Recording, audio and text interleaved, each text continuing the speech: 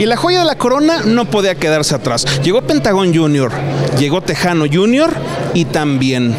llegó Psycho Clown, que dicho sea de paso, en la familia hay experiencia en las artes marciales mixtas. ¿Será el elegido para Triple Manía 27? Así como eh, siempre nosotros nos apasionamos y amamos este deporte y lo, yo tomo una disciplina y siempre he tenido una disciplina por mi bendita lucha libre, ahora aún más en mi comida, en el gimnasio, en todos los aspectos de, mi profesión, porque sé que, que me gusta enfrentar a grandes rivales y sé que me gustan los grandes retos y para grandes retos necesitas estar preparado en todo, no tienes que dormirte en tus, laureles, tienes que estar día con día entrenando, buscando la forma de salir adelante mentalmente, físicamente, de cualquier forma posible, familiarmente, porque también la familia te apoya en, tu, en tu forma de tranquilidad para poder enfrentarte arriba del cuadrilátero. Eso tiene mucho que ver. A mí en lo personal, a mí mi familia me tranquiliza en muchos aspectos, hace que mi corazón hasta, hasta con mi hasta con mi reloj veo cómo me tranquiliza mi corazón de que, de que realmente me ayuda mucho para poder enfrentar estos grandes retos. Es diferente la lucha libre a las artes marciales mixtas y claro, sí, yo, sí tiene que traer la capacidad porque nosotros como luchadores profesionales traemos bases de lucha olímpica. Nosotros nuestros inicios, para poder ser luchador profesional, para que tengas una licencia de luchador, tienes que primero enfrentarte en lucha olímpica a un rival que desconoces en ese momento cuando están haciendo el examen. Entonces tienes que traer bases de lucha olímpica, lucha grecorromana. Él trae el fuego la América en dos ocasiones. Entonces, eh, claro que la lucha libre eh, profesional, la base es la lucha olímpica, de ahí viene todo. Entonces todo, todo se puede porque lo trae, tiene su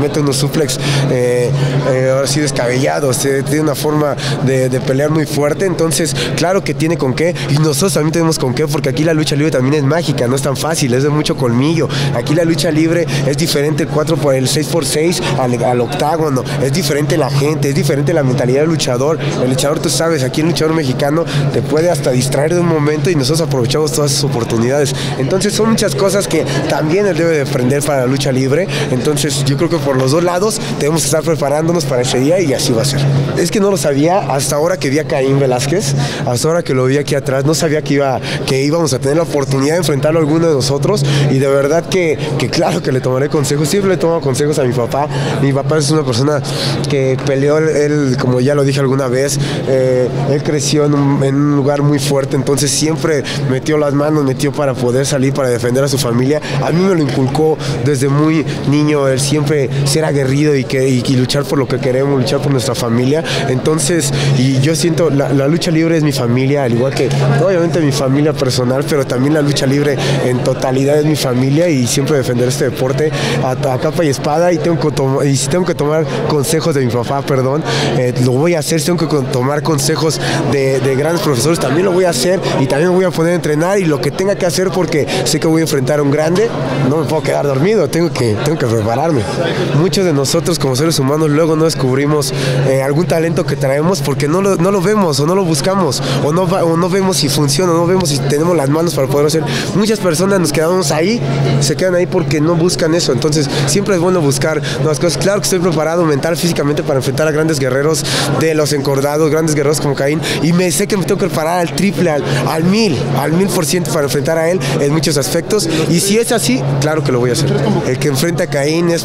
va a ser por, por algo, porque le gustó a la gente más esa rivalidad o como le llamó la atención. No lo sé, no sé qué puede hacer lo que llegue a, o simplemente que Caín escoja un rival de nosotros. No lo sé qué puede hacer. Eh, ahora sí que valga la redundancia, no sé qué puede hacer, pero la realidad es que lo que la lucha que es ese día o la pelea que es ese día entre el primer 27, todos ustedes saldrán muy contentos, todos los aficionados de lo que de lo que vean, de lo que verán en este gran evento, como siempre lo hace mi casa Lucha Libre Viaja seguro esta Semana Santa. Realiza un servicio de mantenimiento preventivo con los expertos de Runza. En Runza, ahora te ofrecemos el servicio de afinación y frenos.